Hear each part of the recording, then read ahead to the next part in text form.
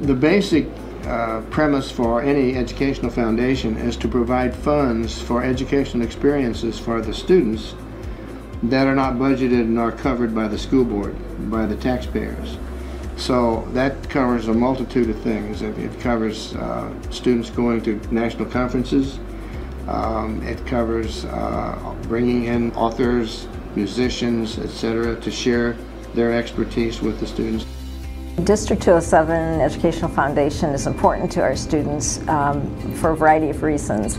Um, first, we've been the major sponsoring uh, organization of the school-based health center, of course along with Lutheran General Hospital, um, which has provided students with health services, anything from inoculations to other types of illnesses and situations. Uh, we've also been supportive of the coach tutoring program, particularly at East and West. I think the Education Foundation has had and continues to have a significant impact on student futures uh, because so frequently they end up providing um, some support for experiences that wouldn't normally be possible through our regular budgetary allocations. Um, so some of these things are been artist in residence um, programs where we bring in um, artists, speakers, um, presenters. Uh, it might be a day and afternoon, it might be somebody who comes in for a few days, even a few weeks to work with our students hands-on in a way that just is not part of the, the normal great work that we do day to day.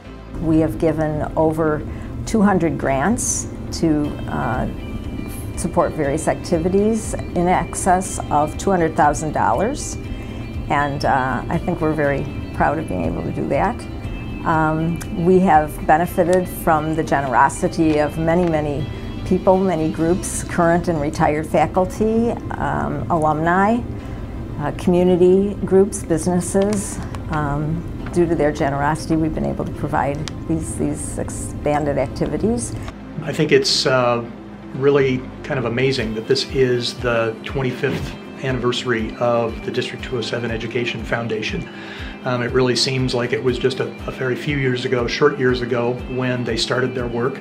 It's networking. Um, it's frankly thinking about those networks with uh, some of our District 207 graduates who haven't necessarily been out that long, but they are already really making a mark on the world in terms of the, the good things they're doing. And we'd like to invite them to come back home, whether that's for a day or two or a project or a little more regularly if they're in the area.